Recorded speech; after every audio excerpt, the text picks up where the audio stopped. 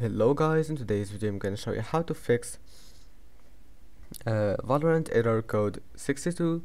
It's easy if you want to fix it. Click here and type control panel. After that click system and security, sec uh, Windows Defender firewall and then turn off uh, turn Windows Defender off or on and now turn off those two options here and click OK and uh, uh, don't worry you can turn it on whenever you want just when you finish playing come back here and turn it on. And that's it. Now just click OK and click here. Go back to control panel and then go to network and internet network and sharing center. Then access type internet you will find here connection connections you will find internet or Wi-Fi click on it it doesn't matter and then go to properties.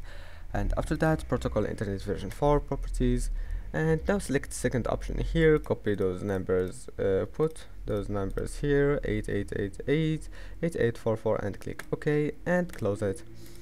And after that go to windows update settings and install all the drivers and all the updates that you will find here. And that's it. After that just restart your pc and you will find that your problem is fixed. Don't forget to like and subscribe and see you in the next video